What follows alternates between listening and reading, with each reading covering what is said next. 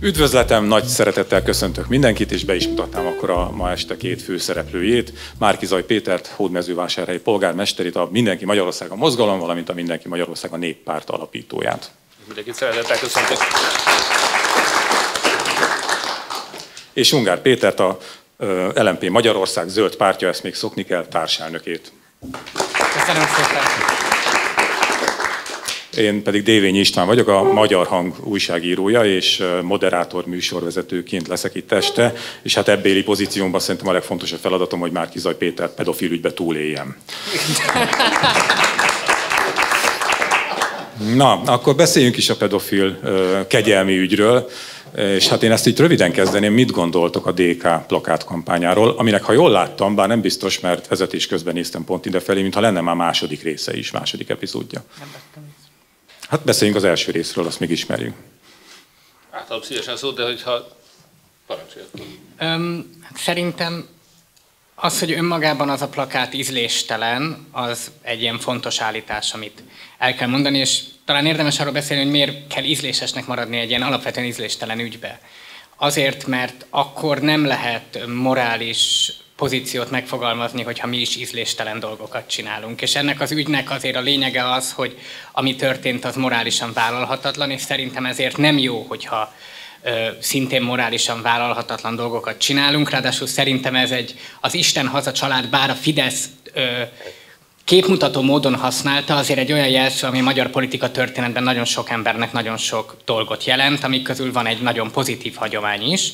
A másik, hogy szerintem ez egy ízléstelen dolog, ugyanúgy ízléstelen dolog pedofideszes pólóba beülni a parlamentbe. Tehát amelyik párt meg azt csinálta, az pedig nem tudja a DK plakátkampányát érdemben kritizálni.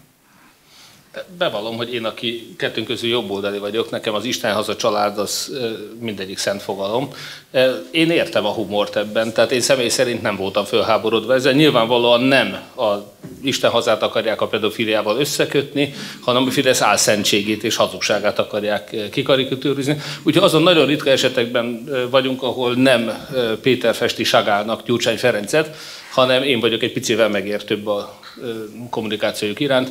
Tehát engem nem háborított föl, bevallom ez a plakátkampány. Láttam már minden oldalról elhatárolódni ettől. Én őszintén szólva, amikor jogosan és fölháborító dolgokért kritizálják a Fideszt, akkor én látom ennek azt a fontos feladatát és misszióját, hogy minél több emberhez eljuttassák azt, hogy Orbán Viktor hazudozik. Ezt, hogy ízléstelen, azt nagyon sokan mondják, és te is ezt a kifejezést használtad, elmondanád, hogy miért tartod ízléstelennek? Azért tart két állítás miatt. Az egyik, mert az Isten haza családa, hogy Péter ezt jelezte, ez a részben a kisgazda mozgalom, részben egyéb magyar jobboldali mozgalmaknak egy nagyon fontos jelszava volt, aminek van történelmi jelentősége. Szerintem ebből önmagában nem kell ö, viccet csinálni, de a másik része meg az, hogy én, és most lehet, hogy akkor ez az árulózás előre fog, előrébb fog jönni, mint ahogy eredetileg lett volna ebben a beszélgetésben. Én nem gondolom, hogy erre a kérdésre az a válasz, hogy minden fideszes pedofil. És ez implicite, én már végig éltem egy ATV-s műsor tegnap, értem, hogy nem explicit, de implicit ezt jelenti.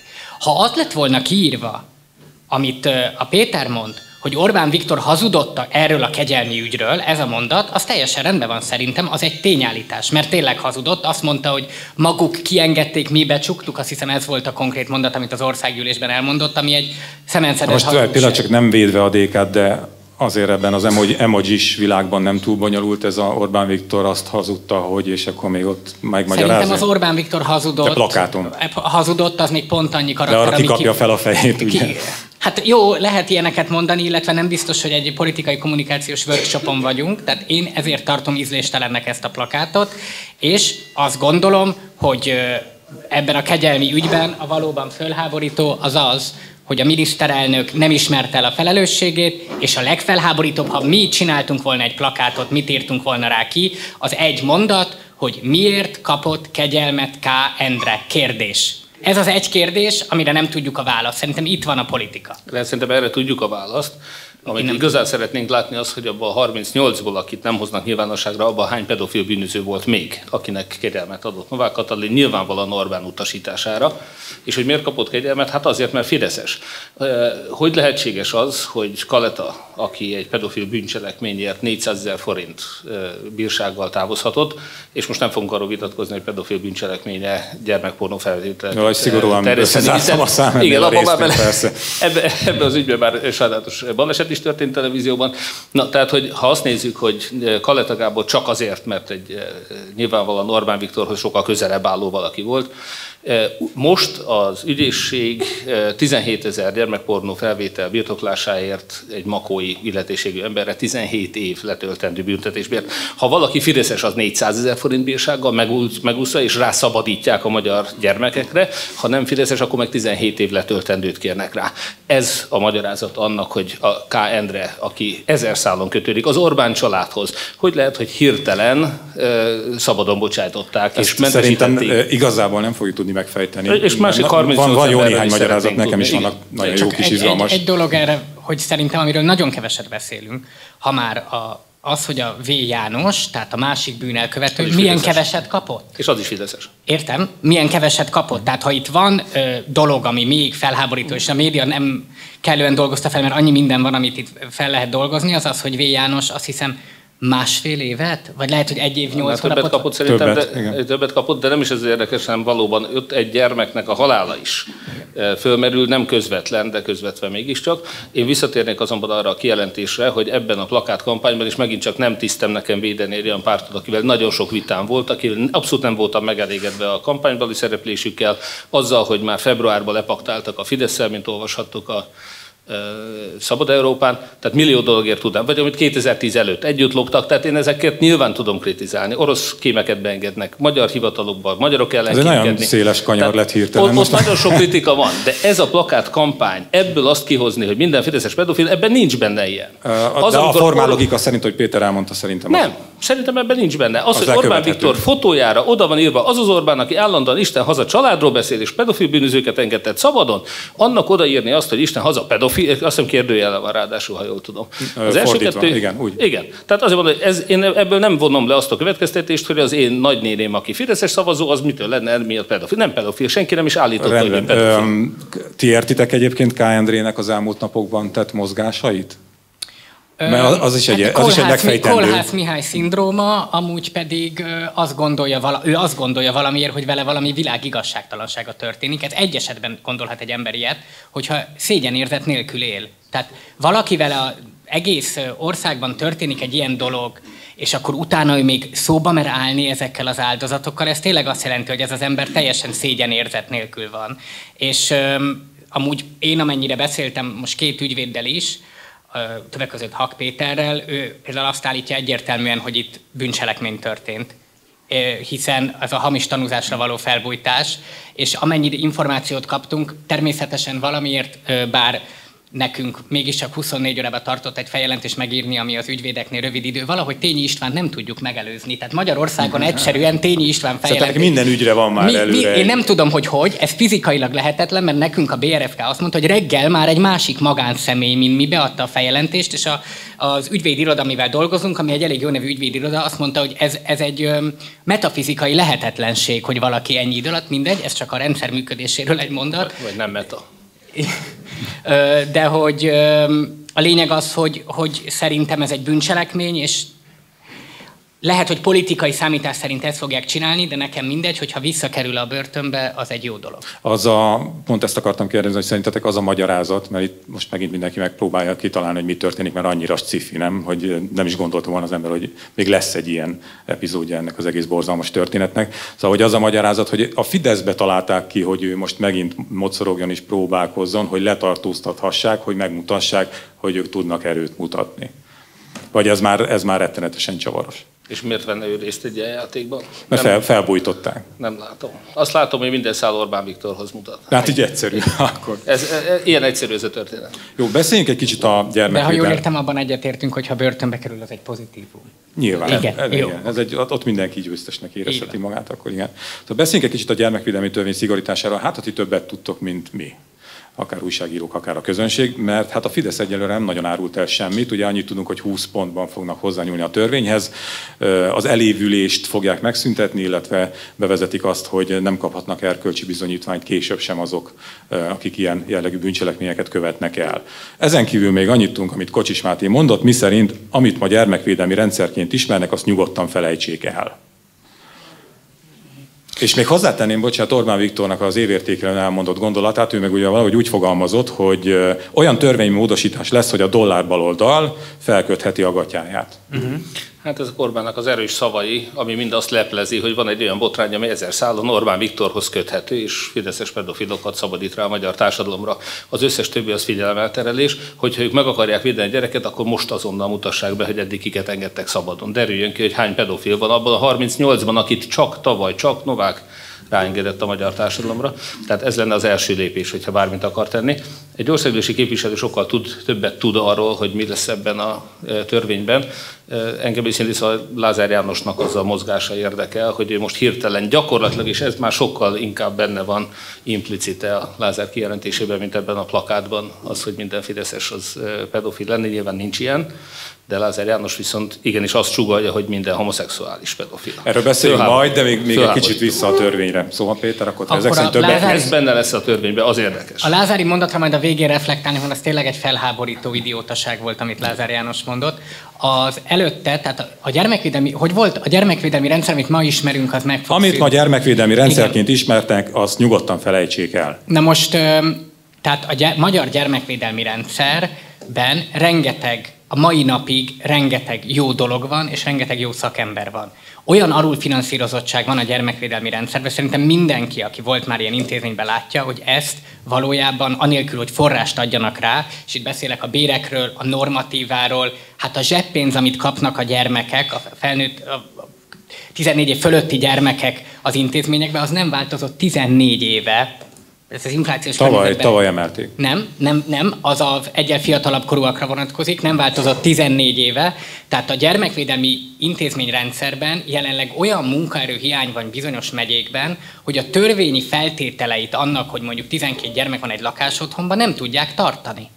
És hát nem, nem tudja bezárni ilyenkor a kormányhivatal, mert akkor mit csinálunk azokkal a gyerekekkel? Tehát ilyen állapotok vannak. Úgyhogy ahelyett, hogy itt el, kitalálnak valamit, ami kellemetlen helyzetbe hozza az ellenzéket, és az ellenzéken gondolkodnak, jó lenne, hogyha ezeket a valóban létező problémákat megpróbálnak megoldani. Amúgy szeretném jelezni, amivel mi egyedüli ellenzéki pártként foglalkoztunk abban az időben, amikor ezt megcsinálták, hogy a nevelő-szülői hálózatból kivonult Magyarországon az állam. Tehát csak egyház tart fönn nevelőszülői hálózatot. Ez, ez egy megmagyarázhatatlan dolog. Tehát mégiscsak az... És értem, ez, ez nem így van.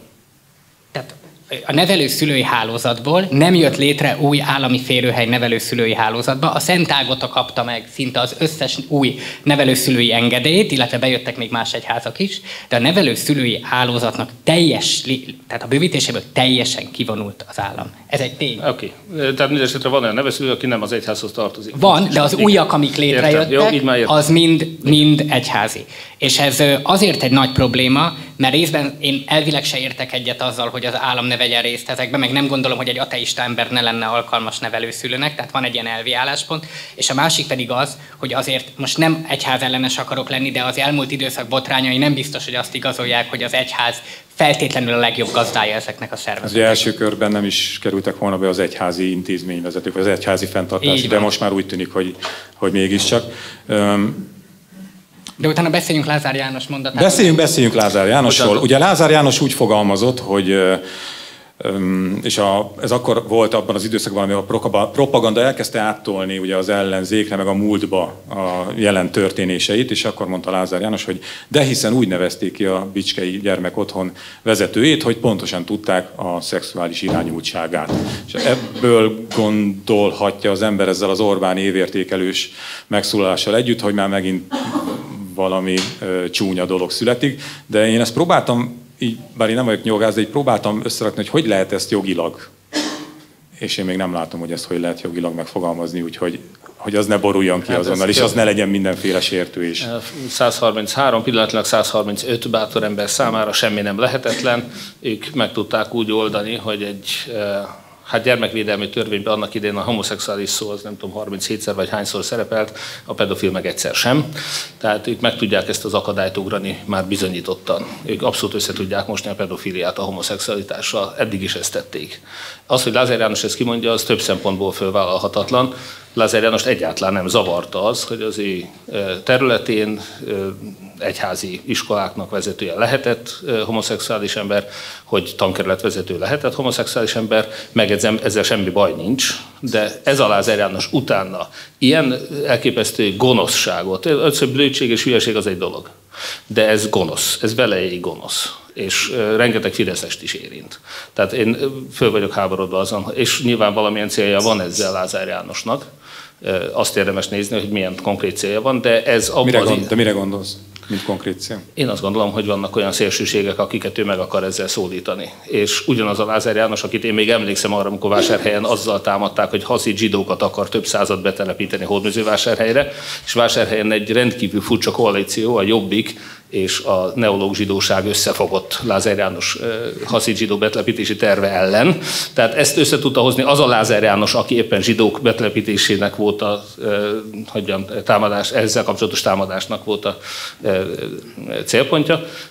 Ez a Lázár János utána mondjuk hogy mondjam, kérdésen lehajtva megemlékezik Horti Miklós sírjánál, óriási váltás, itt ugyanezt látom én, hogy őt nyilvánvalóan nem zavarta korábban az, hogyha valaki homoszexuális volt, vagy éppenséggel a kampányfőnöke velem ellentétben egyébként tényleg propagálta a melegek örökbefogadási jogait, most pedig ő letámadja a melegeket azzal, hogy az még pedofil. Szóval ez őrült, eh, guztustalan, eh, nem is tudom, aljasság, és, és az a fajta, nem tudom, ez pragmatizmus, legfeljebb nagyon eufemizmussal nevezném, tehát ő neki abszolút semmi nem számít. Ezt, ezt tudjuk, Csak de, a, de mondom nekem azt, hogy a törvény szövegébe hogy lehet ezt a szállat hát amikor beleszülni. most bejelentették, hogy megvizsgálják, vagy átvizsgálják az összes gyermekvédelmi intézménynek a vezetőjét, akkor beírták azt, hogy és földerítik, hogy szexuális devianciában részt vesznek el. Most ez egy költői fogalom, költői kép, hogy mit jelenthet ez a szókapcsolat, ez mindenkinek ugye, ez, ez nem egy törvényileg megnézhető dolog, hogy mit jelent a szexuális deviancia.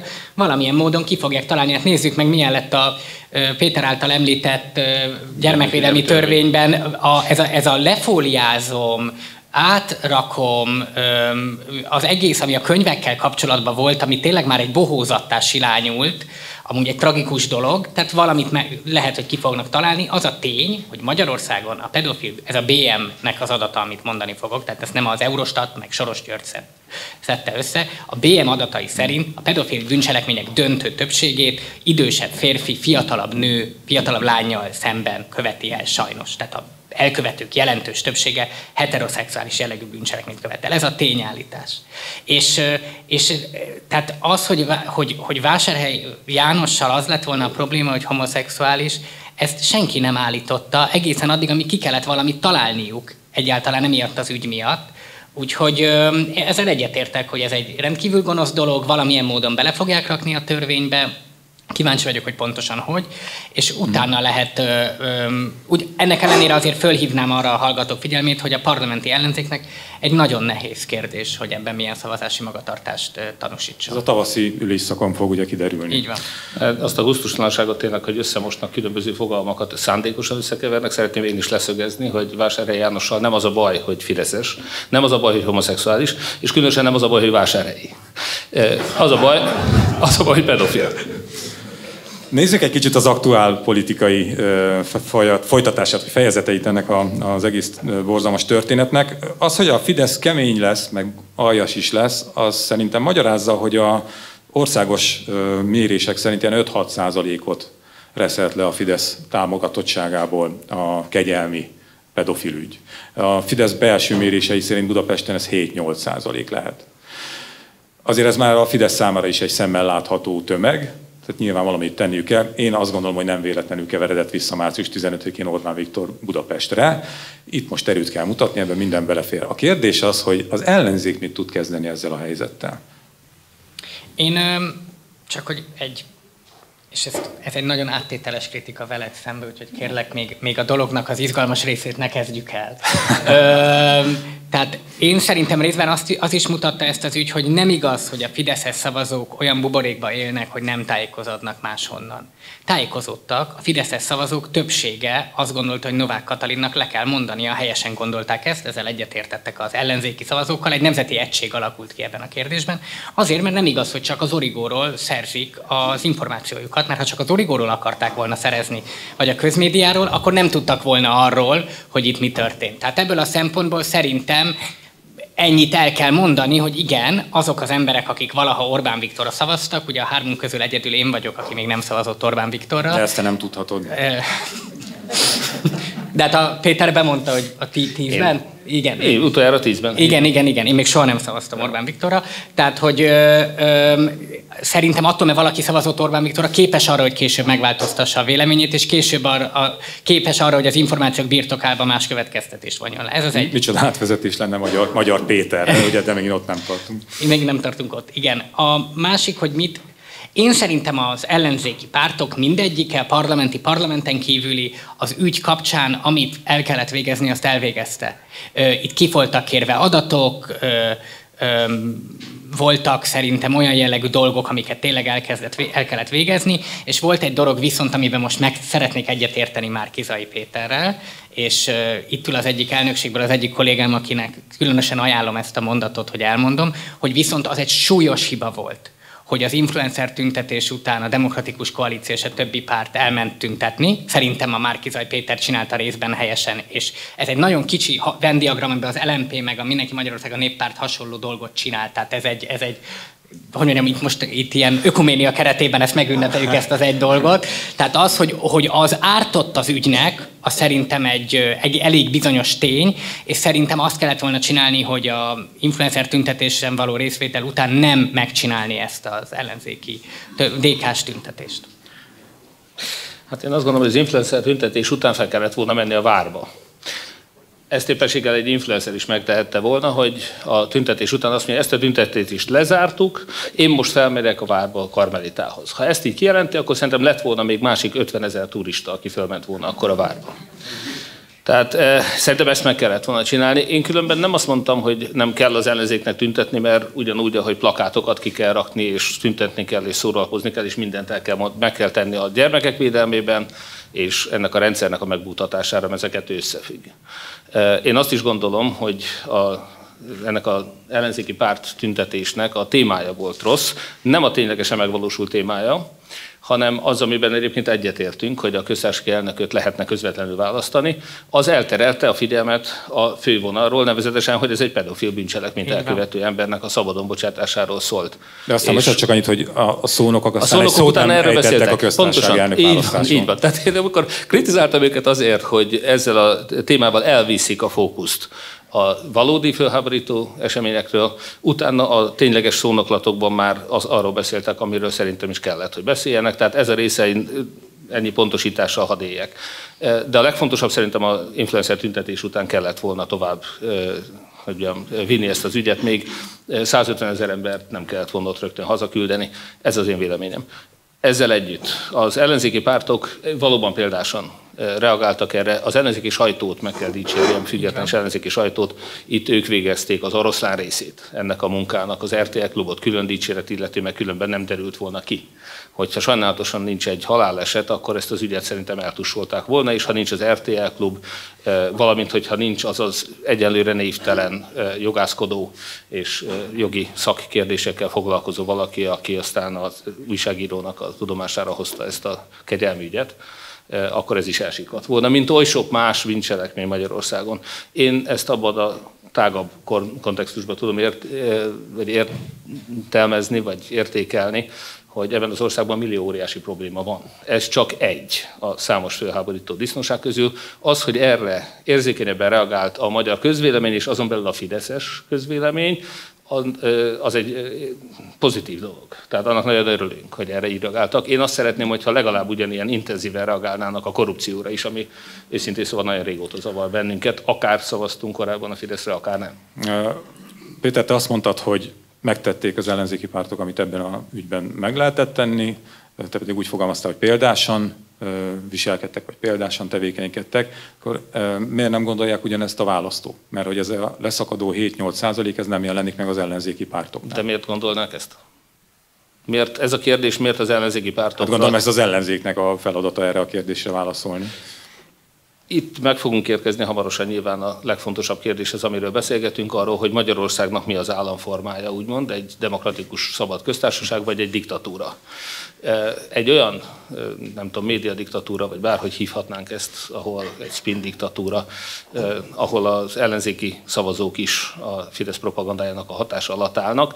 Miért gondolnák azt, hogy az ellenzékben bárki megoldást nyújtana, hogy nekik most erre a problémára? Föl vannak háborodva azon, hogy Orbán rendszere pedofil bűnözőket enged szabadon, vagy fel, bűncselekményben érintett bűnözőket enged szabadon, de nem feltétlenül látják azt, hogy akár bármelyikünk, akár Gyurcsány Ferenc, akár a Momentum mondjuk holnap meg tudná oldani ezt a problémát.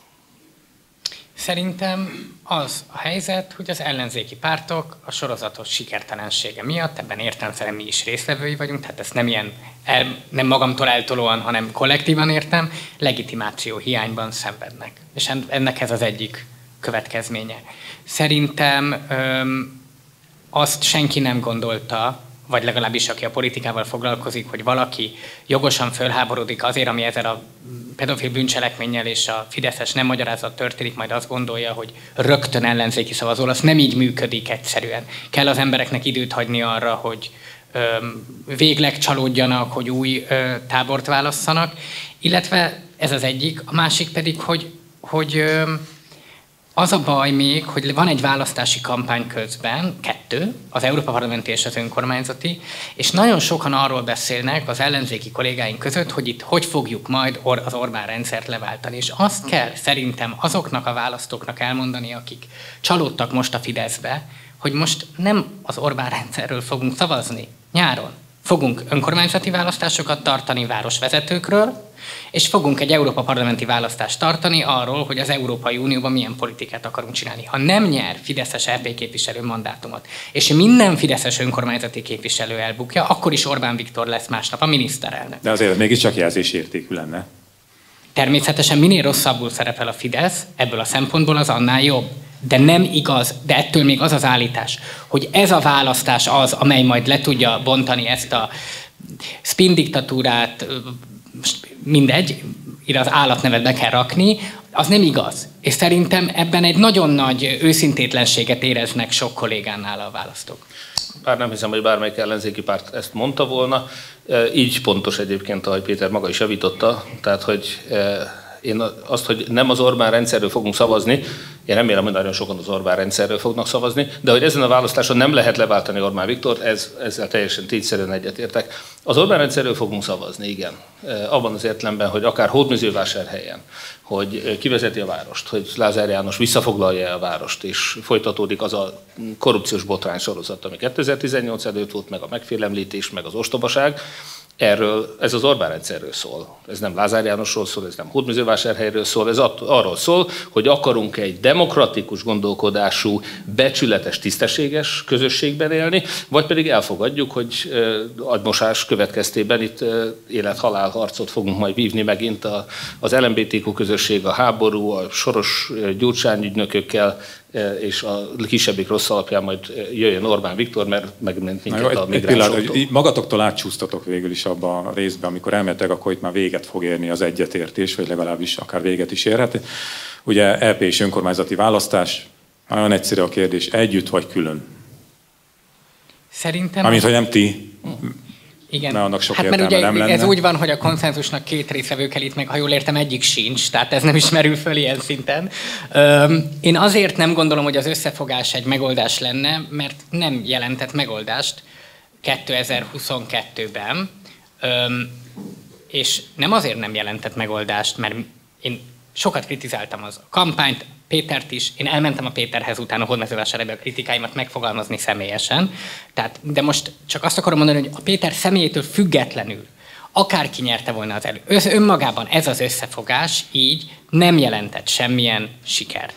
És ez nem csak azért van, mert milyen emberek vannak ebbe az összefogásban, hanem nem volt egy kiérlelt, közös politikai világlátása ennek az egész összefogásnak, azért, mert nem tud lenni a volt miépes jobbikosoknak, meg a volt SZDSZ-es DK-soknak közös világlátása. Ez az egyik. Tehát szerintem az összefogás önmagában nem jelent megoldást. A másik csak egy dolog.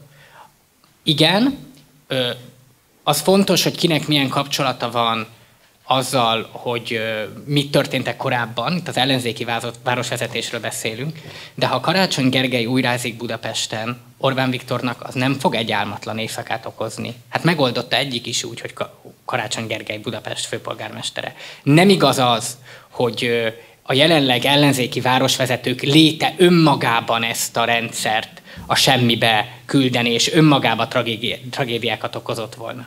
Persze, nem mindegy, meg kell nézni a választási eredményeket, hogy nem mindegy, hogy valahol van-e mondjuk szabad helyi sajtó, vagy nincs, mert én emlékszem, milyen volt a második kerületi helyi újság, amikor Fideszes polgármester volt, és emlékszem, milyen most, és összehasonlíthatatlan. De mondok egy példát. 2022-ben Szombathelyen, ahol előtte 19-ben nyert az ellenzéki összefogás, azért vesztett ennyire szerintem az ellenzéki összefogás, mert voltak szavazók, matematikailag csak így jön ki, aki három éven belül leszavazott Nemény Andrásra, majd leszavazott Orbán Viktorra.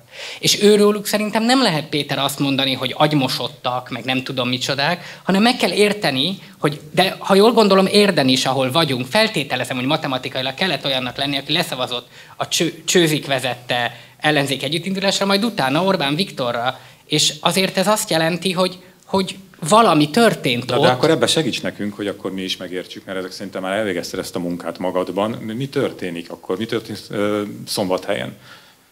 Szombathelyen két dolog. Mármint ezekkel a szavazókkal, akik Én értem, hogy a Pétert rendkívül idegesítette a gyurcsányozás, és tudom, hogy ő részben lelkileg hogy áll az említett korábbi miniszterelnökhöz, és ezért külön idegesítette, részben egy igaztalan dolog volt, mert Gyurcsány Ferenc feleségével szemben nyerte meg az előválasztást. Tehát értem a megértés, de Nemény Andrásról ki volt rakva szombathelyen 150 plakát, mondom, nem tudom érden, hogy volt az önkormányzati választás, hogy Nemény András és Gyurcsány volt mögé, mondták, Gyurcsány Ferenc jelöltje. És ott mégis emberek így döntöttek. Szerintem azért volt, mert egyszerűen más tétje van.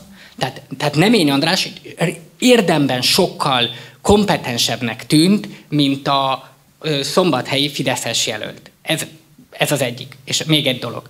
Én nem értettem egyet sok mindenben abban a, annak a kampánynak a menetével, de egy dolog van, ami viszont csak, hogy a Péterről egy felmentő mondatot mondjak, amiről nem tett, egy, senki nem tetett se ő, se, se senki, a háború mindenhol a kormányoldalnak kedvezett. Tehát ezt meg kell nézni Európában, mindenhol fölment az akkori kormánynak a támogatottsága, Lengyelországban akkor volt a jogi igazságoság csúcson, a torik utoljára akkor voltak Nagy-Britanniában csúcson. Ez egy automatikus reakció az emberek között, hogy egy ilyen nagy külső behatás éri, akkor mindenki kormánypárti lesz. Igen, de ugye a Orbán kormány támogatottsága olyan szinten ment föl, hogy még a Holdról is láthatóvá vált. Nem, hogy a Hold utcából. Azt arról beszélnétek egy kicsit, hogy engem az nagyon érdekelni, és szerintem a közönséget is, hogy amikor te elmentél hódmezővásárhelyre, és eh, megfogalmaztad a kritikádat, akkor ö, miről volt szó? Ha ketten beszéltek, néha én is beleszólok. Van mire reagálni. Pont a legjobb rész jött. E, igen, de nem, ez egy apróság ahhoz képest, amiről beszélt az imént Péter. Az összefogás 22-ben jelentette megoldást. A szomorú igazság az, hogy egy olyan rendszerben, amit Orbán Viktor nem véletlenül alakított kétosztatúvá, nem azzal, hogy egy egyfordulós választási rendszert vezetett be. Nincs első forduló, ha úgy tetszik, hanem rögtön a egyetlen fordulóban választják ki azt, aki meghatározó hatással van a parlament összetételére, és önkormányzati választáson is egyfordulós a választás, tehát ott ugyanez a kérdés. Egy egyfordulós választásnál az ellenzéknek, amely valóban megosztott. Ugye a centrális erőtér politikája Orbán Viktornak erről szólt. Ő 2010-ben kitalálta, hogy hogy maradhat ő végestelen végig hatalmon, akár kétharmaddal, és ennek megfelelően átalakította ezt a választási rendszert. Úgyhogy szeretném leszögezni, hogy az összefogás az szükséges, de nem elégséges feltétel volt a győzelemnek. Aki azt állítja, hogy nem volt szükséges az összefogás, az a Fidesz érdekében politizál, tehát ezzel ellen tiltakozom.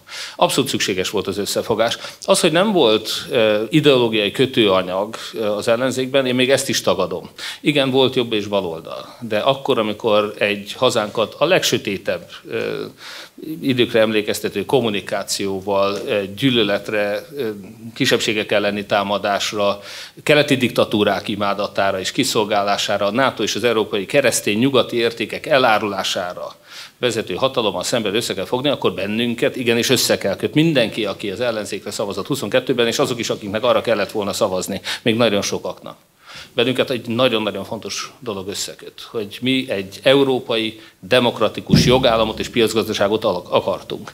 90-ben is elég volt ez az ideológiai kötőanyag. 90-ben sem volt probléma egy ellenzéki kerekasztalban, hogy a kisgazdák és a nem tudom miép, akkor még nem volt miép éppen, de a jobb, mondjuk az MDF, meg az SDS, a kereszténydemokraták, meg a Fidesz, ezek mind egy közösségként az ellenzéki kerekasztalban szabad választásokat követeltek. Ma Magyarországon rendszerváltásra van szükség, és szerintem minden demokrata gondolkodás ember egy nyugati jogállamot, demokratikus jogállamot akar. Ez abszolút összekötötte az ellenzéket. A mi programunk valójában csak ez kellett legyen. Ahhoz képest az, hogy most az adómértékén vagy a családtámogatásokon akarunk-e módosítani, vagy a külföldi magyarokat mennyire tekintjük a nemzetrészének, ez mind mellékes ahhoz képest, hogy Magyarország egy európai demokratikus ország, vagy pedig egy keleti diktatúra. Szerintem az a törésvonal a legfontosabb. És még egyszer, szükséges, de nem elégséges feltétele. Pontosan tudjuk, hogy Magyarországon nagyon sok minden hiányzott ahhoz, ahhoz, hogy egy Lengyelország fél évvel ezelőtti sikeréhez hasonló fordulat legyen Magyarországon 22-ben, elsősorban az hiányzott, hogy például mi 2500 óriás plakátot tudtunk venni, és nem azért nem tudtunk többet, mert nem volt pénzünk rá, hanem mert egyszerűen nem kaptunk többet. A Fidesz 25 ezer óriás plakáton ontotta a hazugságot. Az összes FM rádió ebben az országban mind Fideszes irányultságú, talán ha kettő-három kivétel van, ahova be tudtunk jutni. Az összes megyei napilapot van, gyakorlatilag az összes televízióállomás az a Fidesz szekerét tolta. A közmédiába 5 év alatt, 4 év alatt, 5 percre tudtunk bejutni, és előtte 5 perccel, utána 5 perccel a hazugságok mentek. Csak ez, ezen túl is így lesz. E, és ezt azért, ma, de bár ezt azért, azért mondom, hát nem tudunk, mármint, hogy nem de, tudtok per pillanat, de, azért, de, de, azért, ezt azért vetettem közben, hogy továbbra is azt mondod, hogy szükséges volt az összefogás, Igen. az eredmény meg olyan lett, amilyen. Igen, de nem két, lett volna két, jobb, ha nincs összefogás. Uh, nem lehetett volna összefogás Akkor, fel, akkor már fel azt a kérdést, hogy érzel a személyes felelősséget a 2022-es eredmény alakulásában. Abban az értelemben nem, hogy nem rajtam múlott az eredmény, abban az értelemben igen, hogy hibáztam, nagyon sok mindenben hibáztam, kétségkívül el szoktam mindig mondani, nem is, ez nem vita kérdés. Bárki más lett volna ebben a pozícióban, az is Gyurcsány bábja lett volna, az is, mit tudom én, LMBTQ aktivista lett volna, migránspárti lett volna, háborúpárti lett volna, ezzel nem tudunk mit csinálni. A mi programunkat nem mi mondhattuk el a nyilvánosság előtt, hanem a Fidesz hazudozott róla. Ettől még ez nem lett igazság. Persze lehet azt mondani, hogy nem kellett volna válaszolni a propagandistáknak, nem kell, teljesen mindegy, hát az akadályozta meg őket abban, hogy hazudjanak. Csak amikor akkor, én nem mondtam, akkor nincs kiút, nem? Tehát a, a most, most ez a, egy diktatúra, elmondod, ez, kell, itt, ez egy paradigmaváltás. Hát ebbe kell Ma az ellenzék nagy része, a parlamenti ellenzéket ezért szoktam is kritizálni, az egész ellenzék elbábozza, hogy ez egy demokrácia. Amikor van olyan ember, olyan blödséggel bemegy az ATV-be választások után nem sokkal, hogy egy jobb jelöltem, meg egy jobb programmal legközelebb majd győzünk. Egy másik idétlen azt mondja, nem hogy... Ilyen. Nem is róla beszélek. az egy, Tehát, egy, egy másik blöd. idétlennél nem, gondoltál. Nem, téged nagyon udvariasan kezelek egyébként is, de itt pláne. Egy, a, a Péter egy nagyon szimpatikus ember, akivel egy csomó dolgokban nem értünk egyet. No, de hát ezzel együtt, mondom, van, aki ilyen ostobasággal vagy, van olyan ostoba ember is, aki azt mondja, hogy egy egyetlen egy párti árnyékkormánya majd egészen biztosan lehet, hogy hamarabb, de legkésőbb 26-ban le fogja váltani Orbán Viktor. Nem, ha a rendszert nem változtatjuk meg, akkor itt nem lesz kormányváltás. A rendszert kell megváltoztatni, és erre van mint a 2000, vagy 33-34 évvel ezelőtt ugye sikerült nekünk rendszert váltani. A választók, és mondjuk mint én is választóként azt a receptet várnám, hogy akkor ha úgy nem ment, ugye külön, uh-huh. úgy szintén nem ment együtt, akkor mi a harmadik verzió? Egy és ezért kérdeztem ezt az együtt. István, egy diktatúrában vagyunk. Egy diktatúrában le lehet váltani, nem könnyű, tehát félreértés ne essék. Én azt szoktam mondani, három feltétele van ahhoz, hogy egy diktatúr megbukjon, és az egyik, egyik az ellenzék. Ez ne, ebben a, egy diktatúrában az ellenzéknek nem osztanak lapot. Ha valaki azt gondolja, hogy az ellenzék miatt van Magyarországon diktatúra, ez sürgősen gondolja. Akkor miért csináltál pártot a mozgalomból? Azért csináltunk Úgy pártot, mert lapot. például az európai parlamenti választáson csak pártok indulhatnak, és nekünk nagyon fontos funkciónk van. A Mindenki Magyarországon néppárt az egyetlen olyan magyarországi párt, amely ki tudja tenni a Fidesznek a szatellit pártját, a kereszténydemokratákat az Európai Néppártból, ami az Európai Unió legerősebb pártcsaládja. Ez az a pártcsalád, aki például Monika Holmeyert, akivel többször beszéltem az elmúlt fél évben, aki Monika Holmeyert adja, aki a Bizottság vezetője az Európai Parlamentben. Akin múlik az, hogy milyen feltételekkel és egyáltalán megkapja Magyarország az uniós pénzeket. Akik rá tudják venni arra Orbán Viktor, hogy még Hódműzővásárhely is kapja meg a neki járó uniós pénzeket. Ah, például. Hogy, hogyha erre, erre reagálhatnék csak egy pillanatban, persze. és most a múltat engedjük el, és a jövő kapcsán. De én, én még azért két dologra szeretnék Igen? reagálni abból, amit előbb a Péter mondott. Rendben. Szabad? Mondjad, és akkor... Jó, köszönöm szépen. Karácsony Gergely azt mondja, hogy tettél egy ilyen kijelentést, hogy nem okoz álmatlan éjszakákat Orbán Viktornak. Orbán Viktor azért nagy erőkkel dolgozik rajta, és te is segítesz neki ebben, hogy ne Karácsony Gergely legyen Budapest élén, hanem egy Fideszes. Mindegy, hogy az A vagy a B Fideszes. Én ezt a későbbre hagytam volna, de lesz én, is, én, is, én is későbbre hagytam. De nem, de, de nem, mondjuk azt, nem mondjuk azt, hogy Orbán Viktornak nem érdekes, hogy Karácsony Gergely van-e város élén, hiszen pontosan, hogy érdekes. Ugyanolyan érdekes neki, hogy mint hogy Érd élén Csőzik László lesz, Hódműzővásárhelyen élén Márkizai Péter lesz, mert ő ezeket nem akarja. Ő azt akar akarja, hogy fideszesek vezessék ezeket a városokat is. Ebben az országban, ahol egy bélyeggyűjtő szakörnek a vezetője is fideszes kell legyen, az összes szövetségnek az élén fideszesek vannak. Ebben a városban nem érdekes, hogy Karácsony Gergely vezeti a várost, vagy pedig egy fideszes. Hát hogy ne lenne neki érdekes? És igen, hogyha mi nem tudunk ennek érdekében tenni, akkor Orbán Viktor ezeket sorba vissza fogja foglalni, és onnantól kezdve egy ellenzékének nem fognak lapozt osztani még ebben a városban sem. Az egy óriási bástya nekünk Budapest, egy óriási bástya érd, egy óriási bástya hódmezővásárhely. És akkor ebben a hangulatban beszéljünk Vitézi Dávidról. Hát megszoktam, hogy ebben a kampányban ebben a hangulatban fogok beszélni Vitézi Dávidról. Öm, szerintem, ha Karácsony Gergely önmagában súlyos problémát jelentett volna ennek a rendszernek, akkor nem lenne közvetlen főpolgármester választás. Belenyúltak a főpolgármester választás, vagy az egész budapesti választásba, a közgyűlés választását amúgy jobb irányba változtatták meg, ami Karácsony Gergely eredeti álláspontja volt, hogy a listás legyen. Persze rosszul csinálták, és szemét módon csinálták a dolgot magát, de mindegy. Önmagában az, hogy megtartották ezt, úgyhogy nem szoktak ilyentől azért annyira megérni, hogy ilyen nagy strukturális választásokat hoznak, azt mutatja, hogy önmagában ennek a fővárosi önkormányzatnak a léte nem jelent nagy veszélyt. Ráadásul ugye nemrég a egyik támogató pártja Karácsony Gergelynek azt mondta, hogy 2026-ban várhatóan nem marad más, aki az ellenzék miniszterelnök jelöltje legyen. Na most el, Péter vitat... azonnal felírt valamit. El, elvitathatott tőlem azt, hogy én mennyire vagyok radikális ellenzék ennek a rendszernek, de mint ellenzéki szavazó nem nyugtat meg az, hogy 2026-ban ez a perspektíva nyílik. Azért ennyit engedtessék meg, hogy a visszalépés miatt, és akkor most elmond, nem te miattad probléma az a visszalépés, Péter önmagában. Te azt csináltad akkor, amikor a te dolgod volt. Volt egy nagyon ügyes médiakampány, nagyon jó voltál a vitán, te, neked az volt a dolgod, hogy ott a lehető legtöbb szavazatot kapt, és ezt sikerrel megcsináltad. De azt, hogy valaki, aki második, úgy lép vissza a harmadiknak, hogy a saját pártjainak akik támogatták, nem mond semmit, hogy utána azt mondja, hogy nincsen többsége Magyarországon a baloldali zöld gondolatnak, és hogy az utolsó vitán, ahol lehetett látni rajtad, hogy te akarod, te akarsz változtatni, ő azt mondta, hogy a gyereknek a kosármeccsére gondolt. Tehát ez engem utólag is, és köszönöm, hogy kibeszélhetem egy ilyen nyilvános terápia keretében, felháborító. De még egy dologra is, kicsit most ugrálunk, rátérnék, csak egy valamit ö, szeretnék mondani, hogy, hogy ö, te mondod az Európai Néppártot, és mindig beszélsz arról, hogy kik kollaboráltak Orbán Viktorral. Hát ha van Orbán Viktorral kollaboráns szervezet a világon, az az Európai Néppárt. Ha Angela Merkel nem lett volna német kancellár, akkor Orbán Viktor most nincs hatalmon. Ugyanis azért cserébe, hogy az Audi és a BMW nem fizet érdemben közterhet, ezért cserében mindentől védte az EU-ban Angela Merkel. Lehet látni, hogy azóta vannak költségvetési problémái Magyarországnak, amióta Merkel megbukott, és Scholz van. És Ursula von der Leyen Angela Merkelnek a személyes CDU-n belüli szövetségese. Ezek az Ursula von der Leyen Orbán Viktor szavazataival lett a Spitzenkandidát rendszer megpucsolása után a bizottság elnöke. Az Európai Néppárt sárosabb, mint bárki a magyar ellenzékben Orbán Viktor hatalomban tartására. És még egy dolog az Európai Néppárttal,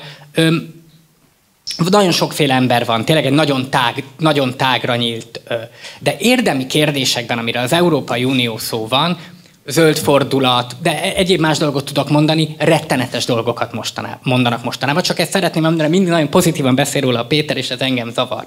És még egy dolog, nemrég megkérdeztem egy német rendezvényen, hogy a aggódnak a magyar sajtószabadságért. A Mercedes meg az Audi abban a két városban, ahol folytatja a tevékenységét, Győr, Kecskemét, hány darab független újságírót finanszíroz amúgy? Mondjuk hirdetéssel. Hány független újságban hirdet a Mercedes meg az Audi? Nulla. Jó. Még, válaszolt? Egy pillanat, mi, mielőtt... Nem menjünk tovább, mert mindig adsz nekem öt témát, abból kettőt tudok reagálni, akkor megint adsz ötöt. Jó, jó, jó, jó, jó. jó. És akkor Vitézi Dávidot meg hirtelen el is Vitézi Dávidot elfelejtettük egy pillanatra, de nem baj, nem baj. De baj. Nagyon szimpatikus Fideszes jelölt.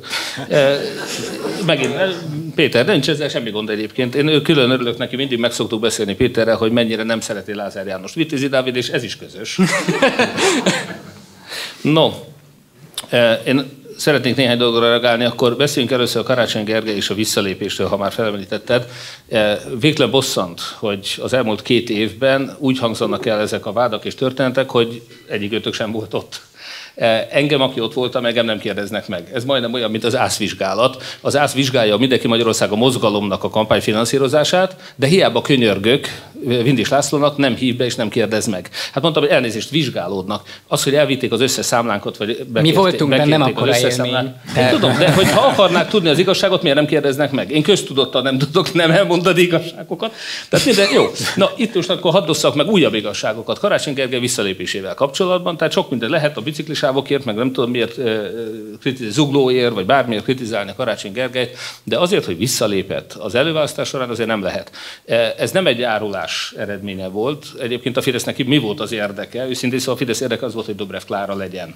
A legnagyobbat Orbán Viktor Dobrev Klára ellenfeleként tudott volna nyerni, ezzel számoltak. És most akkor nem megyünk bele a filmkészítéstől kezdve az összes kampánytaktikájukba, stb. A, a legkevésbé várt jelölt én voltam ebben Ez az előválasztáson, és a legkellemetlenebb fejlemény a Fidesznek ez volt, hirtelen át kellett gondolni. Mindent a teljes kampányukat dobhatták a kukába, újra kell felépíteni, ők féltek. Volt is valami aláírásgyűjtés, amit igen. abba hagytak félúton, igen igen, igen, igen, igen, igen. Tehát ezért sok minden, ki kell cserélni a kreatívokat nekik, tehát kellemetlen, milyen kellemetlen volt. Eh, Hollik István ki tudta jelenteni előtte, hogy én biztos nem leszek majd a közös, közös miniszterelnök jelölt, hiszen én nem vagyok Gyurcsány embere. Aztán hirtelen revideálta magát, és én lettem Gyurcsány embere, és erről öt óriás plakátkampányt csináltak, meg az egész kommunikáció erről szólt, és egyébként az agymosásra jellemző módon az emberek többsége tényleg azt hitte a kampány végére, hogy én Gyurcsány embere vagyok, vagy legalábbis még az én ismerőseim azt hitték, azt mondták, benned megbízunk, meg tudom, hogy minden oké, de akkor is a Gyurcsány kormányozna. Tehát ezt el tudta ültetni a Fidesz, és ez elég volt ahhoz, hogy a Fidesz mindenképpen győzött volna. A háborúval meg megvette a kétharmad is. De karácsonyra visszatérve, tehát azt tessék már megnézni tiszta logika alapján, hogy ott az öt jelöltből, aki az első fordulóban ott volt, kiesett ki. Eh, Jakab Péter esett ki, a Jobbik jelöltje, és Fekete Győr András a Momentum jelöltje. Ennek a két pártnak a támogatója másik fordulóban valószínűleg kire szavaztak volna, amikor ott vagyok én, mint nyilván jobb oldali ebben az esetben, és Karácsony Gergely még Dobrev Klára két baloldali. Az a két párt, aki kiesett, annak a szavazatait, ha hozzáadják az én szavazataimhoz, már látszott, hogy eleve én állok legjobban. És ezt a mi kutatásaink is kimutatták, a Karácsony Gergely kutatásai is kimutatták. Akkor a második fordulóban az az idő, amíg alkudoztunk Karácsony Gergelyel, az arra volt, hogy ő veszített 4%-nyi szavazatot, a Dobrev Klára fölkapta azt a 4%-i szavazatot, én pedig megkaptam a Fekete Győr András nem sok, és a Jakab Péter sokkal több szavazatát. Egyszerűen az jött ki, hogy ha hárman elindulunk ezen a választáson, akkor én megnyertem volna körülbelül 40%-kal, a második mondjuk 30 előtt volna a Dobrev Klára, és mondjuk 20 körül kapott volna a Karácsony Gergely, most leegyszerűsítve mondom. Karácsony Gergelynek ebben a szituációban mindenképpen vissza kellett lépnie. Egy olyan pillanatban tudott kiszállni, amikor a budapestiek többsége még rá voksolt. Tehát ő neki egy abszolút jó pillanatban szállt ki. Ráadásul, ami ennél, ez egy pragmatikus politikusi megközelítés, én egy erkölcsi megközelítést is mondok. Az ő kutatása is, a miénk is, akkor öt független kutatás, egymástól független kutatás, köztük az ő általa rendkívül támogatott és megbízhatónak tartott amerikai polsztereknek a kutatása. Azt mutatták, hogy ha én lennék Orbán Viktor ellenfele az áprilisi választáson, és ez egy fél évvel a választás előtt volt, akkor 43-37 arányban az ellenzéknek van többsége. Ha Dobrev Klára vagy Karácsony Gergely lett volna Orbán kihívója, 2021. októberéről beszélünk, akkor 43-37-re a Fidesz győzött volna. Tehát annak, hogy legyőzzük Orbán Viktort, akkor egyetlen egy megoldása volt, ha én leszek az ellenzék közös miniszterelnök jelöltje. És még egyszer mondom, ez még az összegyurcsányozás előtt volt. Ezt, ezt, ezt csak egy mondatba zárjuk le. Én ezzel nem értek egyet. Az, azért nem, szépen. azért, nem kell egyetérteni, ezek tények. Azért nem korholhat szerintem senkit, hogy azt gondolja, hogy a jelöltje alapvetően jó, ha versenyben marad. Ez a politikának egy elég egyértelmű ö, És része. Tehát ez azért elő-elő fordul. Én csak annyit akarok mondani, hogy továbbra is azt gondolom, hogy Karácsony Gergely, amit eredetileg meg akart abban az előválasztási kampányban jeleníteni, amit nem jelentett meg, mert a körülötte lévő emberek ezt is ö, megpucsolták. Úgy kezdte Karácsony Gergely, hogy ő nem fogja kimondani Orbán Viktor nevét ebben a kampányban, ez számomra rendkívül szimpatikus volt, hogy arról fog beszélni, hogy gyógyítani kell a sebeket. Olyan dolgokat mondott, amik nekem nagyon szimpatikusak voltak. Igen, a végére ez nem így alakult, igen, azt írta ki utána, hogy legyőzöm Orbán, csak azt akarom mondani, hogy annak az eredeti gondolatnak én akkor is azt gondoltam, és most is azt gondolom, lett volna igenis többsége Magyarországon, ezek a hipotetikus dolgok, hogy ki mennyit, hogy miért, és most nem azzal foglak hogy aztán mi lett a vége. Hát a, olyan méréseket tudok visszaidézni, amiknek, amik egy hét múlva már nevetségtárgya lettek. De, de ezer, a tősz, teszem ilyetől tök függetlenül. Tehát a Bajnai Gordon pártja 14%-on áll, ez politikai körökben egy nagyon sokat emlegetett mérés, aztán mi lett a vége? Mi is álltunk Szél Bernadettel 17%-on. Tehát, hogy És az LMP-t 2019-ben az EP-n bejutóra mérték, Így azt hiszem van. 7-8 Aztán százalékkal kettő kapott lett a VP, kettőt, pontosan. a A Momentumot meg meg 3 híresnek, százalékra így van. mérték, és 9 és fél két Így képviselőt bejutatott. Tehát ezeket rendben van. Még azt se lehet kizárni, hogy egyébként ugyanaz a szavazóbázis vándorolt át az LMP Két- szavazóiból két- a Momentumhoz, én is ezek között Ö, voltam. Nagyon érdekes volt ez a történelmi visszatekintő. Várjál, Két, két, két, de nem tudok Egy várni, mert mi a vége lesz az időnknek, és még, még néppártra hadd reagálj. Igen, igen. Aj, ne. Jó, De, de, de, az az érdemi vita. Jó, egy pillanat. Tehát ez az a néppárt, amely kirúgta Orbán Viktor gyakorlatilag. Ez egy rendkívül fontos tény. Tehát igaz, igaz, Igaz, hogy Angela Merkel rendkívül sokat tett arra azért, hogy Orbán Viktor addig is hatalmon legyen, és, Igen. eh, és egy, valóban a Mercedes és az Audi önmagában rengeteget tett, nagyon sokat profitáltak abból, hogy Orbán Viktor a uniós támogatások egy részét, amit nem zsebre vágott, azt ezeknek a cégeknek juttatta át. Nem hibáztatom azért, hogy ők nem szálltak be az Fidesz ellenes politikai kampányba, hiszen haszonélvezői voltak a Fidesz rendszerének, Audi, Mercedes, stb. beszélünk, de az, az a néppárt az kitette Orbán Viktort, és ez egy rendkívül nagy dolog De volt. Most, nem. most nem a zöld pártok tiltakoztak az ellen, hogy Orbán Viktor finanszírozza von der Leyen, hanem a néppárt vezetése. Az a, a von der Leyen egyébként valóban ugye Orbán szavazatával választották meg. Ki az, akit megpucsolt? A Weber. A Webert, aki a néppártnak a vezetője. De hát a a, Weber- néppárt vezetőjét pucsolta meg Orbán Viktor. Hát hogy miért szeretné a néppárt? most- Miért lenne felelős a néppárt Orbán De Viktornak az most választották a von der Leyen-t újra a néppártban, és a Weber meg a von der Leyen gyűlölik egymást. Figyelj, figyelj, hát, figyeljetek, e- erről szerintem itt azért néhányan el de- fogják veszíteni a fonalat Jó, jó, ebben jó, a történetben, Ö, de ez a, a párhuzam, És bocsánat, a zöld fordulat sajnos nem elég de az a, az a párhuzam, hogy a néppárt igenis azért ott volt ebben a Orbáni folyamatban. Végignézte Persze. azt, hogy kialakul Magyarországon, ennél is megerősödik, és valóban én is úgy gondolom, hogy nekem itt most a véleményem És most nincs. nem számít.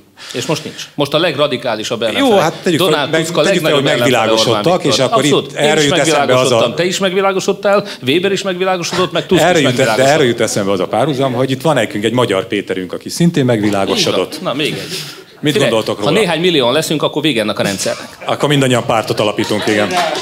De az a, az a jó ebben, hogy pár, akit mondtál, nem magyar állampolgár, tehát ők nem tudnak szavazni. Nem, de sokkal többet tudnak Annyira nem világosodott, hogy magyar minden állampolgár magyar is legyenek. állampolgárnál többet tud tenni ez Na, a Magyar Péter. Orbán megbuktatására. Magyar Péter, mit gondoltok Magyar Péterről? Mint jelenségről.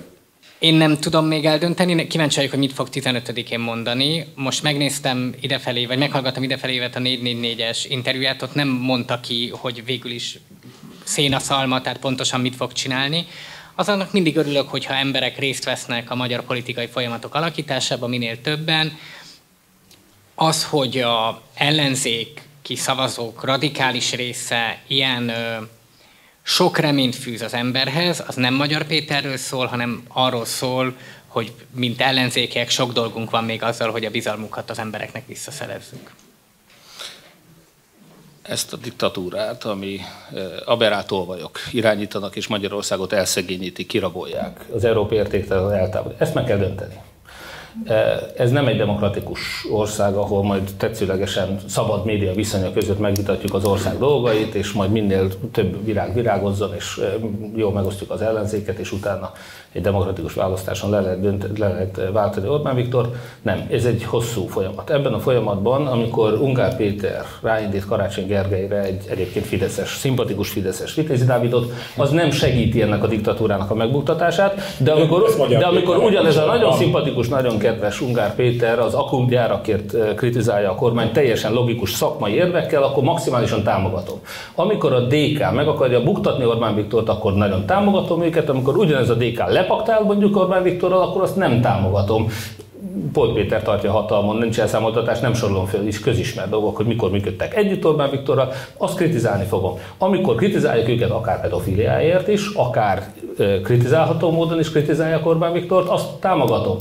Amikor Magyar Péter ebből a társaságból elkezd kibeszélni, én nagyon remélem, hogy nagyon sok fideszes ember, aki még ma is fideszes, az meghallja ezt a beszédet. Nagyon remélem, hogy egy volt igazságügyminiszter volt férjének jobban fognak hinni, mint Ungár Péternek, vagy akár nekem, vagy bárki másnak, hogy egy csomó olyan ember felébred, aki még valamiért, valamiért azt gondolja, hogy ennek az országnak bármi haszna van belőle, hogy haberát bűnözők kirabolják.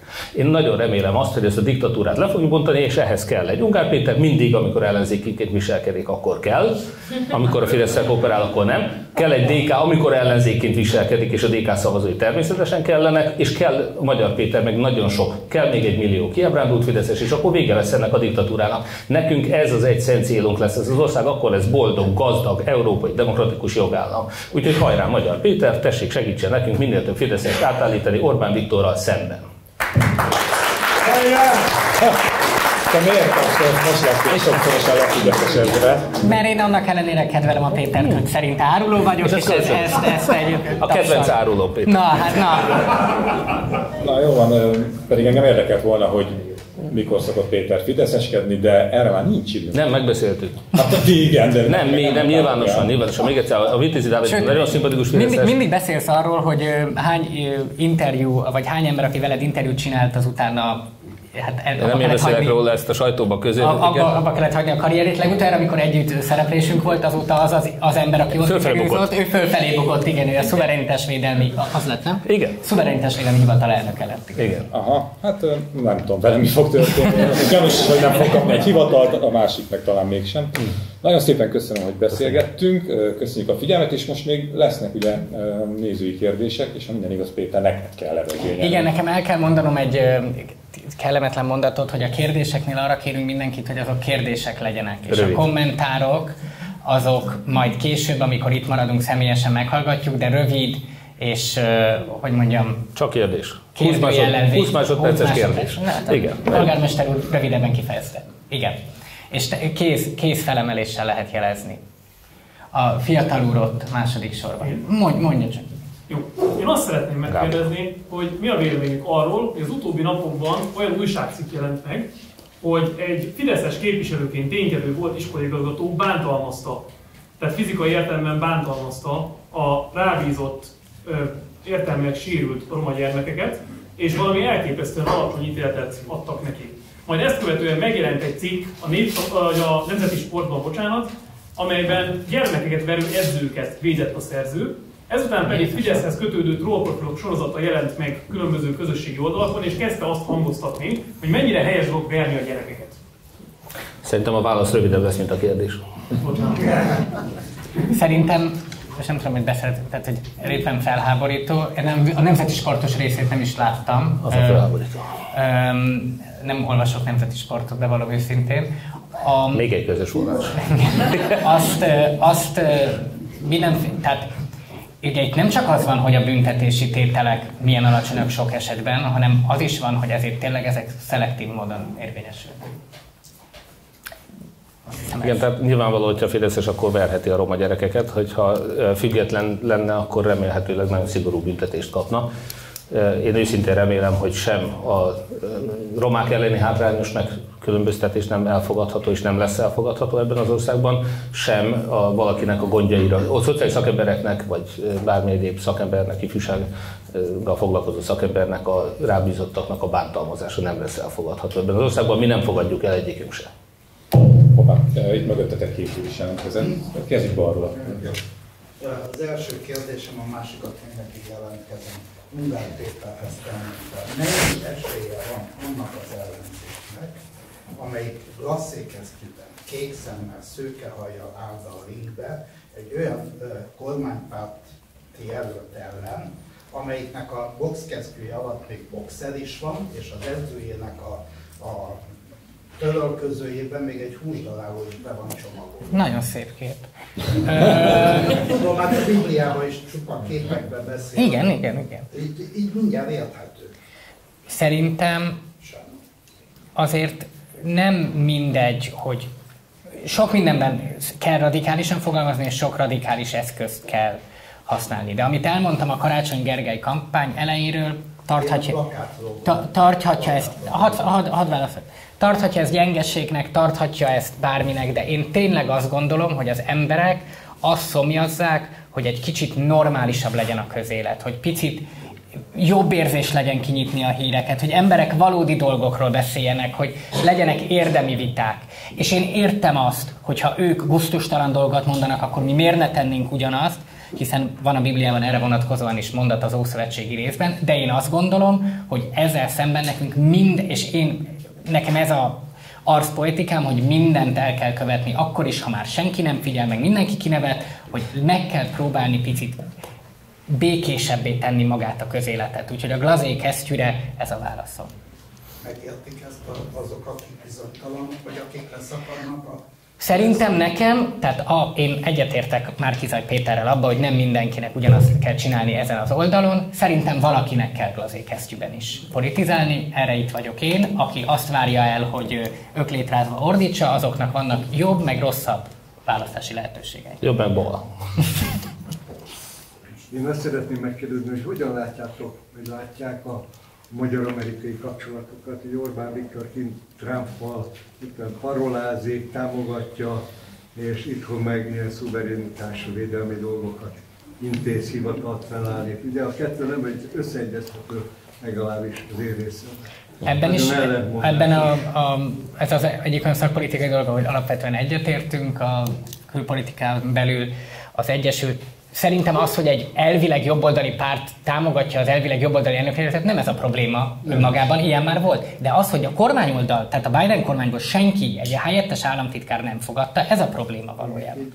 Tehát, és azért Orbán Viktor, amikor először volt miniszterelnök, akkor Bill Clintonnal például egy nagyon jó viszonya volt a jugoszláv háború miatt, de most az van, hogy mindent rátett, minden zsetont Trumpra, és ez az országnak egy nagyon-nagyon-nagyon felelőtlen intézkedése, mert hogyha nem jön be, akkor a legfontosabb szövetségünk megy a kukába. Hogy, hogy kérdezek közben, mert, mert ez ez egy fontos kérdés, de egyetértek azzal, amit mondasz, hogy mindent feltette egy lapra Orbán Viktor, de lehet rosszabb az amerikai-magyar viszony, mint a most. Lehet, lehet, lehet. Nem, szerintem ebből a szempontból, hogyha Trump jönne, akkor nem rosszabb lenne az Orbán-Amerika viszony, hanem nem, nem, de hogyha Biden nyer, akkor, akkor mit lehet egyáltalán Orbán rosszabb Tehát Orbánnak nincs mit veszíteni, ezt mondod. Magyarul igen, ebbe egyetértünk, de én szeretném hangsúlyozni, hogy nem Trump önmagában a probléma, Orbán Viktor külpolitikájában Putyin a probléma.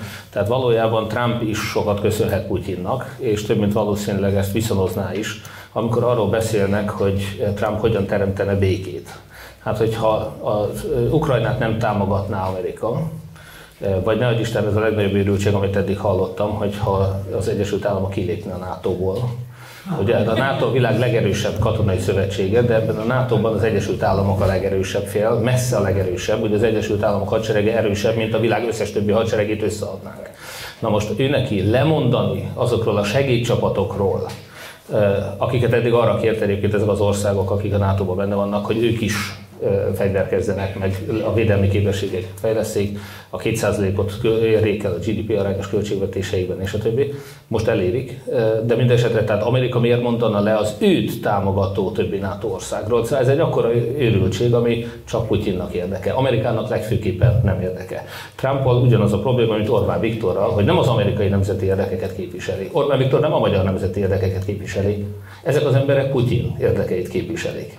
Amikor Putyin magához rendeli Orbán Viktort Pekingbe, és ő ezért nem tud részt venni egy európai megbeszélésen, majd elmondja, hogy nem tehetett más, mert Putyin hívta, és neki olyankor oda kell menni, akkor azért meg lehet nézni, mennyire független, mennyire szuverén Orbán Viktor.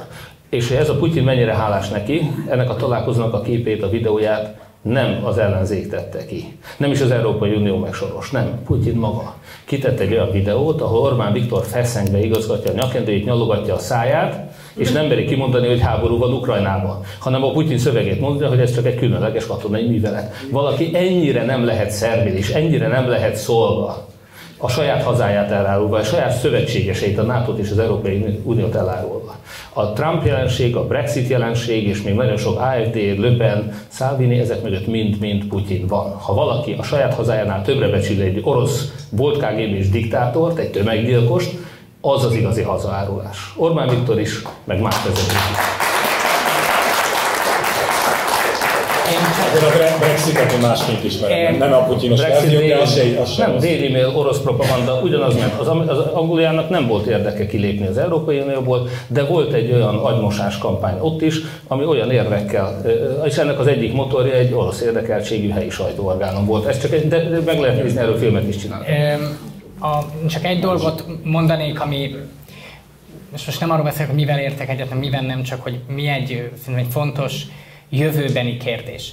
Tehát az egyes, tehát véget ért az a világ, hogy mi feltétel nélkül számíthatunk az Egyesült Államoknak a védelmére, ezért, és most az európai szempontból mondom, ezért Európának fel kell készülni önmaga megvédésére. Tehát az Európai Uniónak védelmi, közös védelmi képességekkel kell rendelkezni, elind, amúgy Történelmileg nem tudom most mi az álláspontja. Orbán Viktor ennek nagy támogatója volt még 5-6 éve, ez persze nem jelent Ma is. égvilágon semmit. Szövegben. Szövegben, jó. De, de egy közös európai hadsereg az ebben a helyzetben nagyon-nagyon fontos, és nekünk különösen fontos. Tehát nézzük meg, hogy most kik mondják a leginkább a közös európai hadsereget, azok a régiós országok, akik tudják, hogy az nem életbiztosítás, hogy az orosz csapatok megállnak Kelet-Ukrajnában. Így van, ez a legnagyobb veszély, hogy egy tömeggyilkos Putyin hadserege Záhonynál Magyarországon szembe lesz, és Putyin, aki elmagyarázta, hogy neki Magyarország az orosz terület, ő a Szovjetunió feloszlatását, meg a NATO-nak a keleti előretörését azt mekkora történelmi hibának tartja, tehát Magyarország abszolút nem lesz biztonságban hogyha Ukrajnát elfoglalja Putyin és a következő célpontját fogja keresni. Én szeretném hangsúlyozni, hogy az Európai Unióra igenis nagy szüksége van Magyarországnak, hogy más nem mondjak, mi a határainkat sem tudjuk megvédeni. Orbán Viktor beszél szuverenitásról, meg néha vesz mondjuk grippeneket, csak azért kiengesztelje a svédeket, most grippeneket vásárolt, de azt elmondta annak idején Benkő hadügyminiszter úr, hogy Magyarország nem tudja magát megvédeni, bennünket csak a NATO tud megvédeni, tehát hazaáruló, aki a NATO-t elárulja. Hazaáruló, aki akadályozza a svédek NATO csatlakozását. És igen, a szomszédos országok ezt nagyon szépen megértették. Nekünk még a határaink védelmére is, hogyha már európai parlamenti választás lesz, akkor mindenki Magyarországon néppárt nevében hadd mondja el, hogy mennyire fontosnak tartom azt, hogy a Frontex segítsen Magyarországnak a határait megvédeni, például az illegális migrációtól, amit Orbán Viktor nem tud megállítani, nem is állított meg. Nincs egyetlen egy olyan illegális migráns, akit Orbán kint tartott volna a határon. Nagy ívű kanyar volt. Még egy utolsó, még egy utolsó kérdést akkor. Az EP kampányra kapcsolatban megtennétek, hogy egy kis esélylatolgatást mit fognak elérni a pártot, pártjaitok, illetve egyetértetek-e azzal, hogy az ellenzék külön-külön indul? Mit gondoltok erről? Azzal, hogy a, én nem, nem támogatom a közös ellenzéki EP listát, szerintem annak sok értelme nincs. Öm, olyan véleménykülönbségek vannak, amik azt mutatják, hogy nem lehet egy közös ellenzéki kampányt végigcsinálni. Én azt gondolom, hogy azok a pártok, amelyeknek állításaik vannak a világról, jól fognak szerepelni, és azok a pártok, amelyeknek nincs állítása a világról, rosszul fog szerepelni. És még szerintem van egy, van egy fontos dolog az Európa Parlamenti kampányról, hogy tehát azzal tiszteljük meg a választókat, hogy elmondjuk, hogy az Európa Parlamenti választás, meg az Európai Parlament miről szól. Volt 19-ben egy kampány, ami arról szólt, hogy a kórházakra, meg az iskolákra pénz, ez volt a Momentum kampánya, pénzeket kell hazahozni. A célral tökre egyetértek, sajnos a nem igaz, amit mondtak, ugyanis a öm, tagállami kormányok döntenek az EU-s pénzek felhasználásának nagy részéről. Sajnos ez egy tény, lehet ezért engem utálni, de ez egy tény. A másik tény, és most nem, most nem tudom, csak a végére jött előre bennem a Momentum szílás, nem tudom miért, de most akkor még ezt a mondatot befejezem. Tehát a másik, hogy, hogy az az állítás, hogy Európai Gyermekvédelmi Hatóság kell, ez a hazugság. Tehát ezt sajnos nem tudom, miért mondanak ilyet a kollégák, ez nem igaz. Nem Európai Uniós hatáskör a gyermekvédelem lehet, lehet ezzel kapcsolatban is dolgokat mondani, ez is egy tényállítás.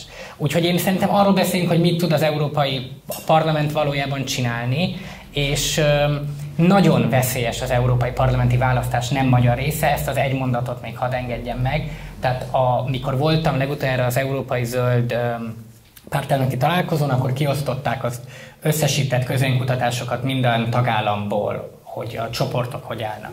A néppárt stagnálás körül áll, viszont a két szélsőoldali frakció érdemi erőletörését várják, úgyhogy ha itt az orosz geopolitikai érdekekről beszélt már Kizaj Péter, ez abból a szempontból nem pozitív. Abszolút nem.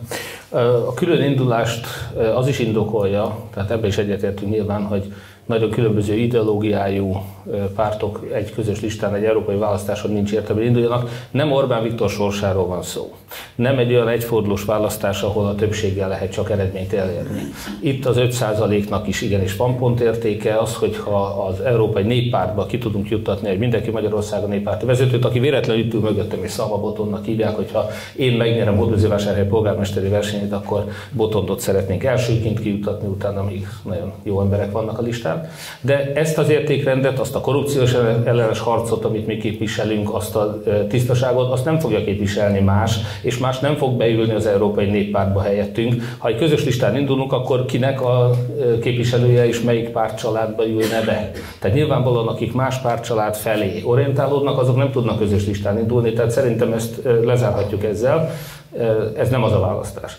A másik, hogy ha én is kérdezhetek egyet, hiszen itt a kérdések között nem hangzott el, a Vitizi Dávidot kitárgyaltuk, a másik sérelmem nekem Csád. Miért kell Csádba magyar katonákat küldeni?